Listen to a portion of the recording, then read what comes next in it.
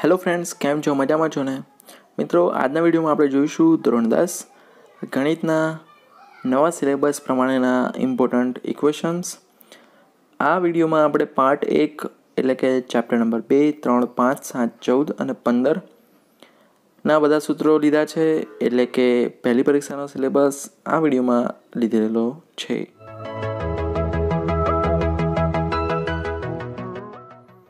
વિદ્યાર્થી મિત્રો, સૌથી પહેલાં જોઈએ આપણે ચેપ્ટર નંબર ટુના ઇક્વેશન તો સૌથી પહેલું છે, એક ઘાત, દ્વિ, બે ઘાત અને ત્રણ ઘાત ધરાવતી જે બહુપદી છે, તેમને શું કહેવાય? સુરેખ, દ્વિઘાત અને ત્રિઘાત બહુપદી કહેવાય. એટલે કે જે બહુપદીની ઘાત એક હોય તેને સુરેખ, બે હોય અને દ્વિઘાત અને ત્રણ હોય અને ત્રિઘાત. ત્યારબાદ છે, દ્વિઘાત બહુપદીનું વ્યાપક સ્વરૂપ તો એક્સનો વર્ગ વત્તા બી એક્સ વત્તા સી ત્યારબાદ મિત્રો વાય બરાબર પી એક્સનો આલેખ એક્સ અક્ષને જે બિંદુએ છેદે તે બિંદુના એક્સ સામે બહુપદી બે એક્સના શૂન્ય છે. મતલબ, જો કોઈ આલેખ આવી રીતે છેદતો હોય એક્સ અક્ષને, તો જો બે વાર છેદે છે, મતલબ બે શૂન્ય હશે અને આ બિંદુનો એક્સ યામ તે બહુપદીનું શૂન્ય હશે. ત્યારબાદ, દ્વિઘાત બહુપદીના મેક્સિમમ શૂન્ય કેટલા હોય? વધુમાં વધુ બે હોય અને ત્રિઘાતના કેટલા હોય? ત્રણ હોય. સુરેખનું એક જ હોય. એટલે ઘાત પ્રમાણે આપણને શૂન્ય મળે. દ્વિઘાતને બે ઘાત છે માટે વધુમાં વધુ બે વાસ્તવિક શૂન્ય. ત્રિઘાતને વધુમાં વધુ ત્રણ વાસ્તવિક શૂન્ય. ત્યારબાદ, જો મિત્રો આલ્ફા અને બીટા દ્વિઘાત બહુપદી એ એક્સ વર્ગ વત્તા બી એક્સ વત્તા સીના શૂન્ય હોય, તો સૌથી પહેલાં શૂન્યનો સરવાળો આલ્ફા પ્લસ બીટા બરાબર માઇનસ બી ભાગ્યા એ જ્યાં બી છે એક્સનો સગુણક એ છે એક્સના વર્ગનો સહગુણક ત્યારબાદ શૂન્યનો ગુણાકાર આલ્ફા ઇન્ટુ બીટા બરાબર સી ભાગ્યા એ જ્યાં સી છે, અચળ પદ અને એ છે એક્સના વર્ગનો સહગુણક. ત્યારબાદ મિત્રો, જો આલ્ફા, બીટા અને ગામા એ ત્રિઘાત બહુપદી એ એક્સનો ઘન વત્તા બી એક્સનો વર્ગ વત્તા સી એક્સ વત્તા ડીના શૂન્ય હોય, તો આલ્ફા વત્તા બીટા વત્તા ગામા બરાબર ઓછા બી ભાગ્યા એ, એટલે શૂન્યનો સરવાળો, જેમાં બી છે એક્સના વર્ગનો સહગુણક એ છે એક્સના ઘનનો સહગુણક. હવે શૂન્યના ગુણાકારોનો સરવાળો જોઈએ તો સી ભાગ્યા એ આવે. તો મિત્રો, સી છે એક્સનો સહગુણક, એ છે એક્સના ઘનનો સહગુણક. હવે મિત્રો, શૂન્યના ગુણાકાર, તો એનો જવાબ આવશે ઓછા ડી ભાગ્યા એ, જ્યાં ડી છે અચળ પદ અને એ છે એક્સના ઘનનો સહગુણક. હવે મિત્રો, ભાગ પ્રવિધિ પ્રમાણે પી એક્સ બરાબર જી એક્સ ગુણ્યા ક્યુ એક્સ વત્તા આર એક્સ હોય, જ્યાં પી એક્સ છે એ આપેલ બહુપદી જી એક્સ છે ભાજક ક્યુ એક્સ છે ભાગફળ અને જે આર એક્સ છે તે છે શેષ. ઓકે ફ્રેન્ડ્સ તો મિત્રો, આટલા ઇક્વેશન બીજા ચેપ્ટરમાંથી હતા. હવે વિદ્યાર્થી મિત્રો, આપણે જોઈએ ચેપ્ટર નંબર ત્રણના સૂત્રો. તો સૌથી પહેલાં છે દ્વિચલ સુરેખ સમીકરણ એટલે કે જો બે ચલ હોય એક જ સમીકરણમાં, તો તેને દ્વિચલ સુરેખ સમીકરણ કહેવાય. અહીં જુઓ એ વન એક્સ વત્તા બી વન વાય વત્તા સી વન બરાબર જીરો અને એ ટુ એક્સ વત્તા બી ટુ વાય વત્તા સી ટુ છે. તો આ બે જે જોડકું છે એને દ્વિચલ સુરેખ સમીકરણ યુગ્મ કહેવાય અને એક સમીકરણને દ્વિચલ સુરેખ સમીકરણ કહેવાય. હવે મિત્રો, દ્વિચલ સુરેખ સમીકરણ યુગ્મનો ઉકેલ મેળવવાની બે રીત, એક આલેખની અને એક બેજિક રીત છે. આલેખની રીતમાં વાત કરીએ તો, જ્યારે બે રેખાઓ પરસ્પર છેદે, આલેખ દોરી અને બે રેખાઓ જો છેદતી હોય, તો જ્યાં છેદ બિંદુ છે, તે એ સમીકરણ યુગ્મનો ઉકેલ કહેવાય. અને જે સમીકરણ યુગ્મ છે, સુસંગત કહેવાય. એટલે ઉકેલ મળે છે એટલા માટે સુસંગત કહેવાય. ત્યારબાદ જો રેખા બંને ઉપર સંપાતી હોય, એટલે મતલબ એક જ રેખા ઉપર બીજી રેખા હોય, ટૂંકમાં બંને રેખા એક જ હોય, તો તેના ઉકેલ કેવા મળે? અનંત મળે. અને એ સમીકરણોને અવલંબી પણ કહેવાય. અવલંબી, ઓકે? ત્યારબાદ છે, જો બે રેખાઓ સમાંતર હોય, તો સમાંતર રેખાઓ કદી છેદે નહીં, તો કોઈ ઉકેલ મળે નહીં. એટલે એ સમીકરણનો કોઈ વાસ્તવિક ઉકેલ હોય નહીં. એટલે આ સમીકરણને સુસંગત નથી તેમ કહેવાય. તો મિત્રો, આ હતી આલેખની રીત. ત્યારબાદ છે બૈજિક રીત, તો જેની ત્રણ રીત છે. પહેલી છે આદેશની રીત, લોપની રીત અને ચોગડી ગુણાકારની રીત. તો મિત્રો, એના સિવાય જો કોઈ સમીકરણ સુસંગત છે કે નથી એ ચેક કરવું હોય, તો એની પણ એક રીત છે જેમાં તમારે એ વન ભાગ્યા એ ટુ કરવાનું અને બી વન ભાગ્યા બી ટુ કરવાનું અને સી વન ભાગ્યા સી ટુ કરવાનું. જો એ વન ભાગ્યા a two not equal to b one ભાગ્યા બી ટુ હોય, તો મતલબ આ સુરેખ સમીકરણ યુગમાં સુસંગત છે અને તમને એક અનન્ય ઉકેલ મળશે.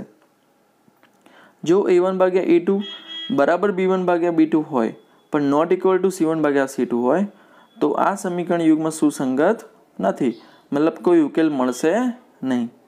ત્યારબાદ જો ત્રણે ત્રણ સરખા હોય ગુણોત્તર, તો એ સમીકરણ યુગમાં સુસંગત છે અને રેખાઓ પણ સંપાતી હશે અને અવલંબી સમીકરણો હશે. હવે વિદ્યાર્થી મિત્રો આપણે જોઈએ ચેપ્ટર નંબર પાંચના સૂત્રો.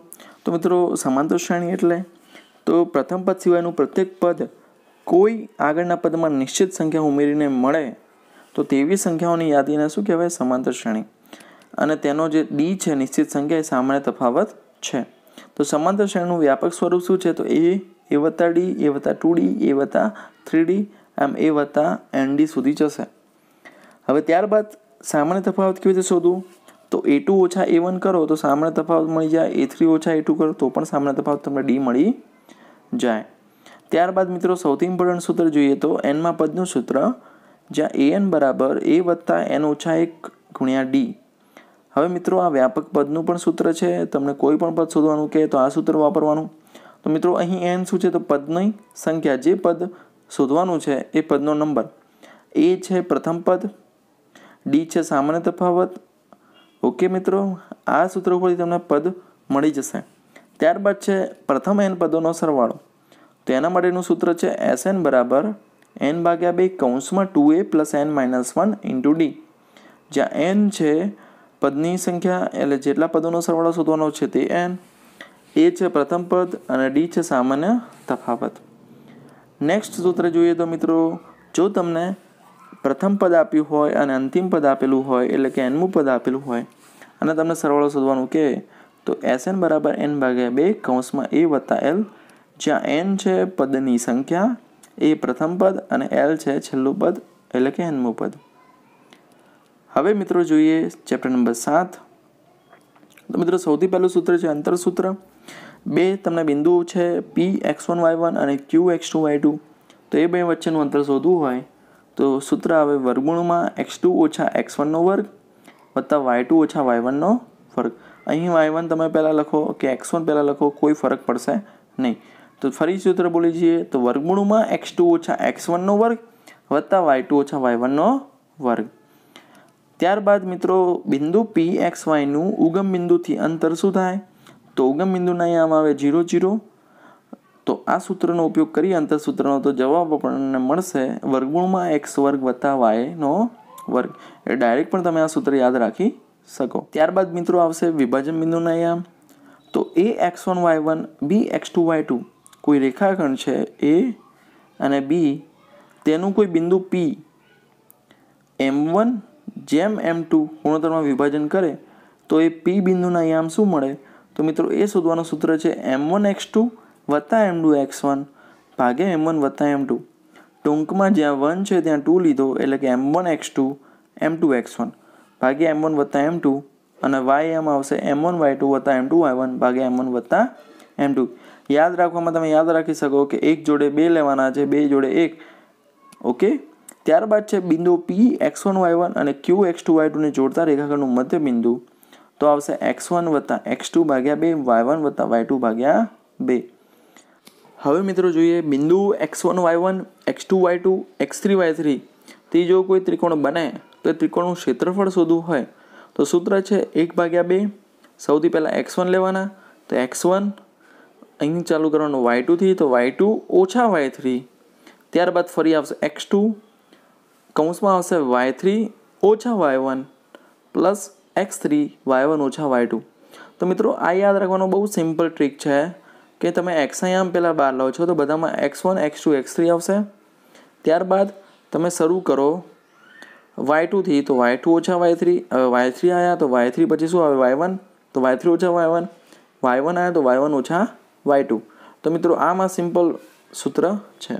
ત્યારબાદ એક બીજું સૂત્ર આવે કે ત્રિકોણનું મધ્યબિંદુ શોધવું હોય, તો શું આવશે? એ તો એક્સ વન વત્તા એક્સ ટુ વત્તા એક્સ થ્રી ભાગ્યા ત્રણ વાય વન વત્તા વાય ટુ વત્તા વાય થ્રી ભાગ્યા ત્રણ. ઓકે મિત્રો હવે વિદ્યાર્થી મિત્રો આપણે જોઈએ ચેપ્ટર નંબર ચૌદના સૂત્રો. તો મિત્રો, સૌથી પહેલું છે મધ્યક શોધવાનું સૂત્ર. તો તેમાં ત્રણ રીત છે. પ્રત્યક્ષ રીત, ધારેલા મધ્યકની રીત પદ વિચલનની રીત. તો આમાં મિત્રો મધ્યકને કહેવાય એક્સ બાર તો એક્સ બાર બરાબર sigma f i x i ભાગ્યા સિગ્મા એફઆઈ જ્યાં એફઆઈ એક્સઆઈ એ બધા જ એફઆઈ એક્સઆઈનો સરવાળો આવશે સિગ્મા છે એટલે. અને સિગ્મા એફઆઈ એટલે આવૃત્તિનો સરવાળો હશે. ત્યારબાદ ધારેલા મધ્યકની રીત એક્સ બાર બરાબર એ વત્તા sigma f i d i ભાગ્યા સિગ્મા એફઆઈ તો મિત્રો, એ છે જે તમે ધારેલું મધ્યક હશે તે ત્યારબાદ છે પદ વિચલનની રીત, જેમાં એક્સ બાર બરાબર એ વત્તા sigma f i u i ભાગ્યા સિગ્મા એફઆઈ જ્યાં એચ છે વર્ગ લંબાઈ.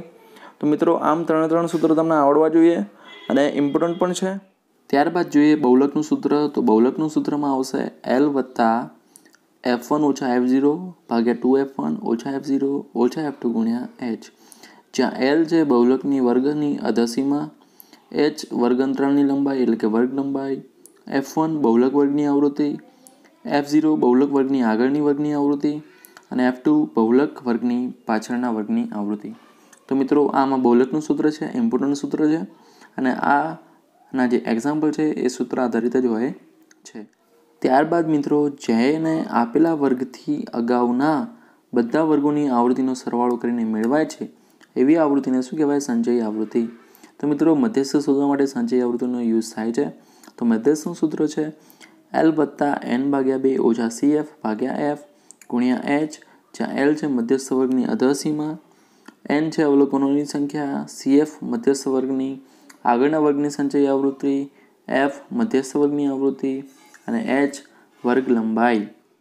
હવે મિત્રો સંચય આવૃત્તિ વિતરણને આલેખીય સ્વરૂપે સંચય આવૃત્તિ વક્ર અથવા થી ઓછા પ્રકારનો અને થી વધારે પ્રકારના ઉજીવ દ્વારા દર્શાવાય છે. જેમાં મધ્યસ્થને આપણે આલેખ દ્વારા પણ મેળવી શકાય, જે માહિતીઓના બે ઓજીવના છેદ બિંદુના એક્સ એમ તરીકે મેળવાય છે. ત્યારબાદ મિત્રો સૂત્ર છે ત્રણ ગુણ્યા મધ્યસ્થ બરાબર બહુલક વત્તા બે ગુણ્યા મધ્યક તો મિત્રો આ સૂત્રનો ઉપયોગ કરીને પણ એક્ઝામ્પલ પૂછી શકાય. હવે મિત્રો જોઈએ ચેપ્ટર નંબર પંદરના સૂત્રો. તો સૌથી પહેલાં છે પી ઓફ ફીનું સૂત્ર, એટલે કે સંભાવનાનું સૂત્ર એ માટેના સાનુકૂળ પરિણામોની સંખ્યા, ભાગ્યા પ્રયોગના શક્ય તમામ પરિણામોની સંખ્યા. હવે મિત્રો, ચોક્કસ ઘટનાની સંભાવના કેટલી હોય? એક હોય અશક્ય ઘટનાની સંભાવના કેટલી હોય? શૂન્ય. ત્યારબાદ, ઘટના ઈની સંભાવના, એટલે કે કોઈ પણ સંભાવના જીરોથી એકની વચ્ચે હોય છે. ના, તે જીરો કરતાં ઓછી હોય, ના, એક કરતાં વધારે. ત્યારબાદ, માત્ર એક જ પરિણામ ધરાવતી ઘટનાને પ્રાથમિક ઘટના કહેવાય અને પ્રયોગની તમામ પ્રાથમિક ઘટનાઓનો સરવાળો કેટલો થાય? એક. આ ક્વેશ્ચન એક માર્ક્સમાં ખાલી જગ્યામાં ખરા ખોટામાં પૂછાઈ શકે છે, એટલે કે સેક્શન એમાં પૂછાઈ શકે છે. ત્યારબાદ છે કોઈપણ ઘટના ઈ માટે પીઈ પી ઓફ ઈ વત્તા પી ઓફ ઈ બાર બરાબર એક થાય. હવે પીઈ છે ઘટના થવાની સંભાવના અને પી ઓફ ઈ બાર છે ઈ નહીં થવાની સંભાવના, જેને પૂરક ઘટના પણ કહેવાય. તો આ મિત્રો પૂરક ઘટના અને ઘટનાનો સરવાળો એક થાય. તો મિત્રો આનો એક્ઝામ્પલ પણ પૂછાઈ શકે. જેમ કે જીરો પોઈન્ટ અડસઠ જો ઘટના થવાની સંભાવના હોય તો તેની પૂરક ઘટના કેટલી થાય? તો એકમાંથી જીરો પોઈન્ટ અડસઠ બાદ કરો. એટલે જે મળે એ તમારી જવાબ થાય. તો વિદ્યાર્થી મિત્રો, આ વિડીયોમાં આપણે જે પ્રથમ પરીક્ષાના જેટલા ચેપ્ટર છે તેના બધા ઇક્વેશન વિશે માહિતી મેળવી અને સમજ્યા. તો મિત્રો, આ વીડિયો તમને ગમે હોય તો વિડીયોને લાઇક કરજો, ચેનલને સબસ્ક્રાઈબ કરજો. અને મિત્રો, ભણો અને રાજીના રેડ થઈ જાઓ.